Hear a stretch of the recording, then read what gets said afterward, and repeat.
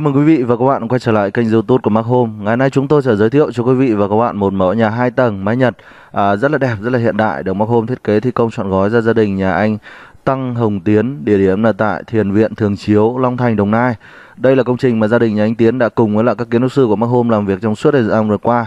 Thì sau khi xong hồ sơ thì gia đình anh Tiến rất là ưng ý bởi vì là các kiến trúc sư đã thấu hiểu được cái nhu cầu cũng như thể là cái mong muốn mà chủ nhà à, muốn xây dựng cũng như muốn thiết kế công trình này. Thì trước khi đi vào trong chi tiết công trình ngày hôm nay chúng tôi xin giới thiệu chúng tôi đến từ Mac Home.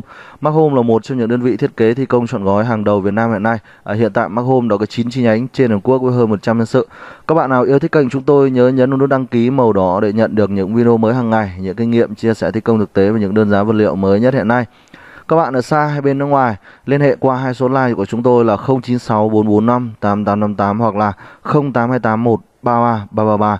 Đây là hai số chúng tôi có Zalo có thể tư vấn cho quý vị và các bạn bất kể ngày hay đêm, thứ bảy hay là chủ nhật đều có nhân viên túc trực.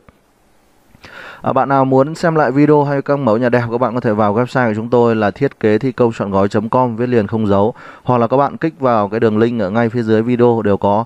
Thì trên này mỗi hôm đang chạy rất nhiều chương trình. Ví dụ chương trình là đặt cọc nhanh tay nhận ngay quả khủng. Đây là chương trình chúng ta áp dụng với những khách hàng mà ký hợp đồng thi công chọn gói từ 3 tháng trở lên. Thì cái này thì khách hàng sẽ được giảm giá chiết khấu từ 3 đến 8%. À, ví dụ như công trình 1 2 tỷ chúng ta đã tiết kiệm được vài chục triệu rồi. À, nó cũng không phải là một con số lớn. Tuy nhiên chúng ta có sự chuẩn bị trước thì bao giờ công trình nó cũng được à, trơn tru hơn, được chuẩn bị kỹ lưỡng hơn. À, ngay đến bản thân chúng tôi cũng vậy, chúng tôi có thời gian để sẽ tắp thợ, chuẩn bị nguyên vật tư vật liệu và máy móc cái thứ hai là từ tháng 9 trở đi, tháng 9 2020 trở đi, tất cả các khách hàng mà ký hợp đồng thi công chọn gói đều nhận được một trong những phần quà như thể là lò vi sóng này, bếp từ này, tivi. Phần quà này là chúng tôi tặng riêng ở bên ngoài kèm với rất nhiều những cái giá trị uh, khuyến mại khác. À, chương trình thứ hai là chương trình hỗ trợ vay vốn ngân hàng mà Mark Home đang hỗ trợ tất cả các khách hàng của chúng tôi nếu như có nhu cầu vay vốn ngân hàng là 75% giá trị hợp đồng thì câu chọn gói. À, chương trình này thì cũng chỉ một mình Mark Home mới có thể đầy đủ năng lực được làm được trên hệ thống toàn quốc thôi. Thế nên là các bạn à, ngày nay chúng ta à, làm nhà à, chúng ta làm nhà chúng ta không cần phải có đủ tiền như ngày trước chúng ta cũng không cần uh, phải có quá nhiều tiền. Làm nhà ngày nay thì không có tiền chúng ta vẫn làm được những ngôi nhà đẹp. Đấy là cái tiêu chí mà ban lãnh đạo băng hôm muốn đưa ra để đưa những công trình đẹp đến mọi tay người dân ở khắp mọi miền trên tổ quốc. À, thêm một chương trình nữa là đăng ký thành lập các chi nhánh mới. Thì hiện tại Măng Hôm có 9 chi nhánh trên toàn quốc với hệ thống showroom đồ à, trang trí mẫu. Thì nếu quý khách hàng nào yêu thích hệ thống của Măng Hôm các bạn cũng có thể tham gia trong hệ thống Măng Hôm. À, chúng ta sẽ được đào tạo, được setup và được hỗ trợ mọi thứ à, để có thể triển khai công việc à, giúp cho cái đẹp đến với mọi miền tổ quốc. Quay trở lại mẫu nhóm này thì chúng ta thấy rằng đây là một công trình mái Nhật. Thế thì vì sao chúng ta lại biết được à, nó là mái gì? Thì à, trong thiết kế ấy, tôi đã hướng dẫn các bạn rất là nhiều rồi. Thì chúng ta có ba dạng mái cơ bản đối với lại thiết kế của Việt Nam. Thứ nhất là hệ mái Thái. Hệ mái Thái thì chúng ta có phần đốc xây thu hồi kèm với lại phần đổ bê tông mái vát. À, thứ hai là hệ mái Nhật hệ mái Nhật thì chúng ta chỉ việc đổ bê tông theo diện phương nằm ngang. À, và sau đấy chúng ta lợp vỉ kèo và dán ngói lên trên. Thứ ba là hệ máy bằng. Hệ máy bằng là chúng ta không có bất kỳ cái phần gì ở nằm ở phía trên mái. Thì về cái chi phí ấy, thì bao giờ mái thái cũng là tốn kém nhất. Bởi vì các bạn hình dung là gì? À, nếu như chúng ta đổ bê tông mái vát thì cái phần chi phí nhân công cũng như vật tư vật liệu nó tốn kém rất là nhiều. Người ta có hay có một câu ví von là gì ạ? Một mét mái vát bằng 1,5 lần uh, mét vuông của máy bằng tức là nó tốn kém gấp rưỡi nếu như các bạn làm máy bằng à, nếu như các bạn làm uh, so sánh giữa máy vát và máy bằng À, công trình này chúng tôi sử dụng cửa chính là cửa gỗ lim Nam Phi. Còn lại nếu như trong khu vực miền Nam chúng ta thường hay sử dụng gỗ căm xe của Lào. Toàn bộ hệ cửa sổ chúng tôi sử dụng hệ nhôm hệ sinh pha cao cấp. Nói về dòng sinh, à, sinh pha các bạn đừng nghe mỗi từ sinh pha Các bạn phải đánh giá cho tôi dựa trên các tiêu chí. Thứ nhất là sinh pha đấy là sinh pha nhập khẩu hay là sinh pha sản xuất tại Việt Nam. Đơn giá nó khác nhau hoàn toàn. À, sinh pha nhập khẩu người ta gọi là sinh pha Quảng Đông hay còn gọi là sinh pha đỏ. À, đấy cái chi phí của sinh pha Quảng Đông nhập về nó rất là cao và nó độ bền của nó cũng rất là tốt. Cái thứ hai là nó phụ thuộc vào độ dày. Người ta nói là hệ hệ ở đây có thể là 4.400 4.500 5.500 à, cái hệ khác nhau thì chi phí nó cũng sẽ khác nhau. Cái thứ ba là nó liên quan đến kính. Kính chúng ta có thể sử dụng nhiều loại ví dụ như kính cường lực kính dán an toàn hai lớp 6 ly 38 kính dán an toàn hai lớp 8 ly 38 hay là kính à, thường. À, kính màu kính chống UV tia cực tím. Và cái tiêu chí thứ ba đấy chính là phụ kiện. Đối với lại những dòng phụ kiện của nhôm hệ sinh pha đấy chính là Kim Long. Kim Long là dòng phụ kiện chính hãng của nhôm hệ sinh pha. À, đây là một góc nhìn từ phía bên tay trái qua. Thì các bạn thấy rằng cái tỷ lệ bố cục màu ở trong các thiết kế các home nó luôn chính xác nó luôn đúng và nó có những cái quy tắc nhất định mà nếu như bạn nào đã thích thiết kế của chúng tôi rồi các bạn sẽ thấy rằng các tất cả các thiết kế của chúng tôi nó có những cái đặc điểm nhận dạng rất là riêng biệt. Nó đẳng cấp và nó chuyên nghiệp.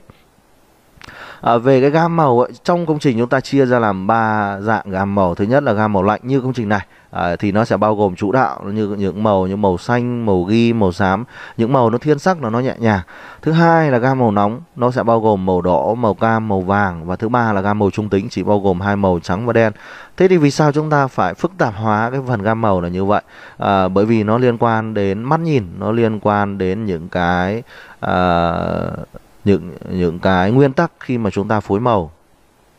Chứ nếu như các bạn sử dụng máy xanh mà phía dưới đây các bạn lại sử dụng những cái đường sơn màu đỏ màu cam nếu các bạn thấy rằng nó nhất là rất là rất là nhức mắt. Rất là nhức mắt. À, còn đây là hiện trạng công trình. Đây là công trình cũ các bạn nhé công trình cũ này thì gồm chức năng là phòng khách này phòng bếp phòng ăn và nhà vệ sinh. Thì à, gia đình anh Tiến muốn tận dụng lại công trình này để sử dụng cho việc tiếp khách. Bởi vì công trình này cũng vừa mới xây cách đây có à, năm sáu năm thôi à, còn đây là khuôn viên trên cái vị trí xây dựng mới. À, trên khuôn viên này các bạn thấy rằng nó đang có kích thước như một hình chữ nhật. À, còn đây là ngôi nhà cũ mà tận dụng lại. Thì ngôi nhà này thì chị sơn si lại trang trí lại để cho nó ăn nhập thôi. Bây giờ tôi sẽ hướng dẫn các bạn đi xem từng bộ hồ sơ. Trước hết chúng ta sẽ quan tâm đến bộ hồ sơ thiết kế kiến trúc hay còn gọi là hồ sơ kỹ thuật thi công hạng mục kiến trúc thì ờ, trong cái bộ hồ sơ này chúng ta gồm rất rất nhiều những bản vẽ kỹ thuật khác nhau lớn và nhỏ. Đây là 44 hạng mục lớn ngoài ra nó gồm rất nhiều các hạng mục nhỏ khác nhau. À, chúng ta quan tâm đến cái phần mặt bằng tổng thể đầu tiên. À, mặt bằng tổng thể. Thì với cái mặt bằng tổng thể này chúng ta để ý cho tôi đến cái phần nhà cũ này à, phần nhà mới này. Cái kích thước ngôi nhà mới có chiều rộng là 6m3 và chiều dài là 18m8 Đấy, như vậy là cái diện tích của nó cũng không là quá lớn nó chỉ dao động ở tầm 101 mét vuông thôi. À, với cái kích thước như này chúng tôi sẽ bố trí tầng 1 gồm một khu vực phòng thờ à, ba phòng ngủ trong đấy đều là các phòng ngủ có nhà vệ sinh khép kín. Bởi vì gia đình anh Tiến là gì? Thứ nhất là ba thế hệ cái thứ hai là gia đình anh muốn là sau này cải tạo là ngôi nhà có thể cho thuê được hay là khi mà bạn bè người thân về có thể là có phòng để ở được. Và khu vực cầu thang này chúng tôi thiết kế nằm ở ngay giữa tâm công trình. Đây nó hơi chếch về phía sau một chút. À, ngoài ra thì chúng ta có một lối sảnh phụ để liên kết sang khu vực phòng nhà cũ. Thì trên nhà cũ này thì chúng ta bao gồm là bếp phòng ăn à, và khối công trình phụ. Lên trên tầng 2 cũng vậy thôi. Trên tầng 2 thì chủ nhà cũng bố trí tiếp các phòng ngủ và các nhà vệ sinh khép kín. Đấy, các bạn thấy rằng là à, công năng ngôi nhà này nó rất là đơn giản và chủ yếu tập trung vào nhu cầu là nghỉ ngơi à, phòng ngủ. Đấy, còn lại phía dưới là thờ gia tiên còn lại phía trên là thờ Phật. Đấy, bao giờ là chúng ta nếu như chúng ta à, thiên về thờ cúng các bạn sẽ thấy rằng là chúng ta luôn thờ Phật ở phía trên còn lại phía dưới là chúng ta thờ gia tiên thờ thổ địa.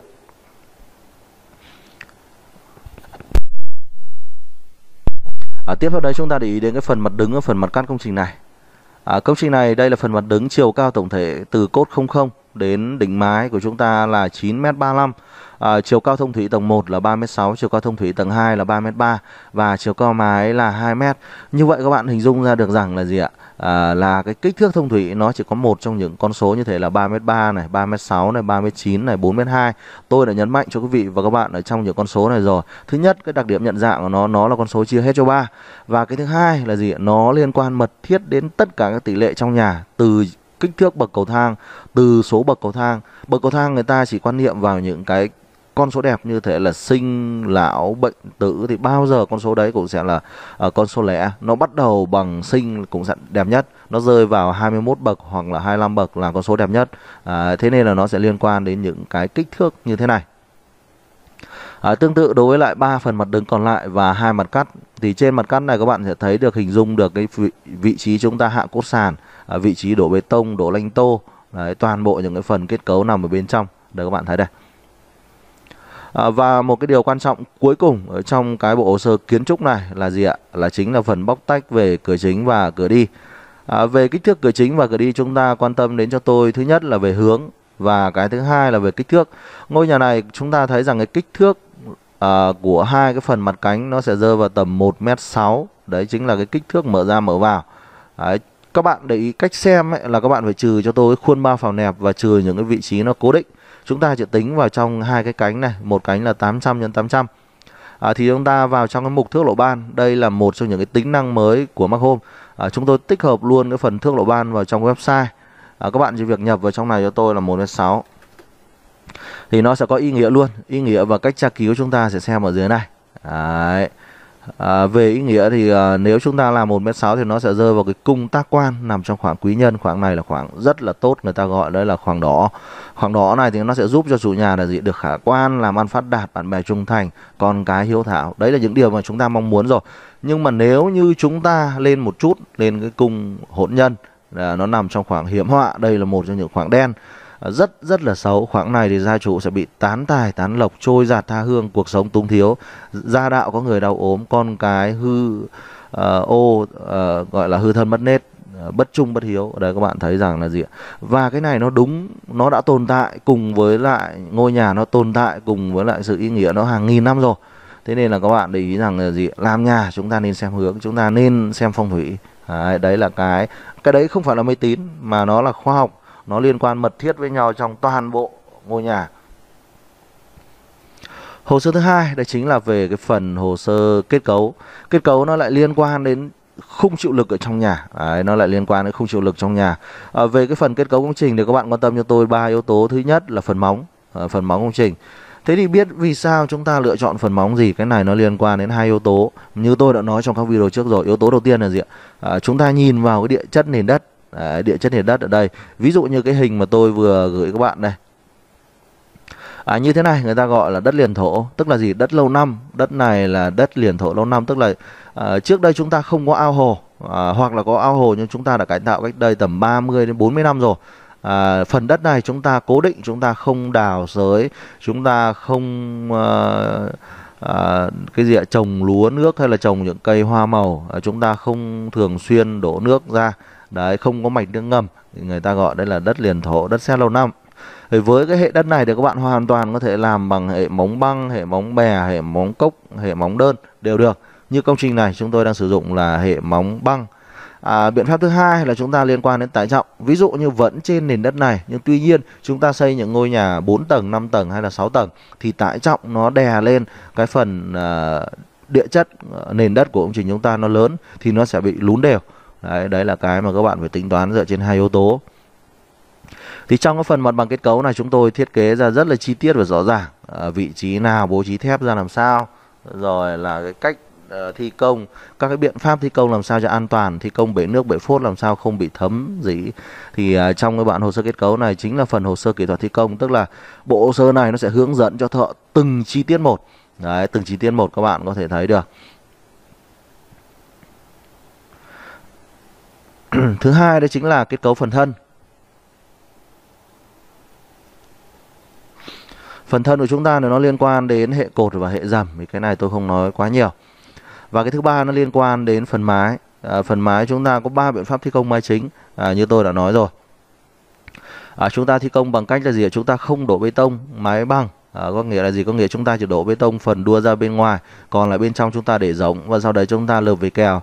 Phía dưới thì chúng ta phải đóng trần thạch cao để nó che đi cái phần khuyết điểm đấy. Chi phí này thì nó thấp nhất rồi.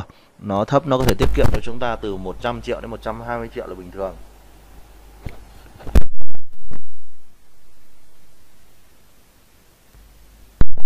À, biện pháp thi công mái thứ hai à, như tôi nói đấy chính là chúng ta đổ bê tông mái bằng còn lại phía trên chúng ta lợp vì kèo dán ngói à, biện pháp thi công thứ ba là chúng ta đổ bê tông bằng sau đó tiếp tục đổ bê tông phần mái vát. À, biện pháp này thì dành cho những nhà mà có rất nhiều tiền hay là những ngôi biệt thự cao cấp những khu dự án resort. À, bởi vì là sao khi chúng ta đổ bằng rồi chúng ta để đổ bê tông mái vát rồi nó sẽ rất là tốn kém. À, tốn kém hơn rất rất là nhiều. Nó thường nó sẽ bằng chi phí xây 3 tầng à, hoặc là xây 3 tầng rưỡi. Đấy, mặc dù chúng ta xây có hai tầng thôi nhưng chi phí nó sẽ đội lên ngang với lại những công trình chúng ta làm 3 tầng. À, hồ sơ thứ ba là phần hồ sơ về thiết kế điện nước. À, hồ sơ này cũng là một trong những hồ sơ quan trọng không thể thiếu được. Vì sao? Vì nó liên quan đến cái việc chúng ta sử dụng các trang thiết bị hàng ngày. à, nó liên quan đến cái công năng mà chúng ta dùng ví dụ như chúng ta bố trí những hệ bóng như thế nào à, bóng led bóng đầu line bóng uh, led dây bóng tiếp à, nói chung là rất nhiều và cái cách đấu nối trong những cái mặt hàng công tắc nó đặt ở đâu để nó không bị che bởi tủ quần áo không bị che bởi giường. À, có rất nhiều công trình chúng ta sao chúng ta cứ thiết kế theo cái à, à, cảm quan của mình và sau đấy chúng ta lại đặt những cái vị trí ví dụ như tủ quần áo chúng ta che hết các vị trí như bóng điện à, như mặt hạt.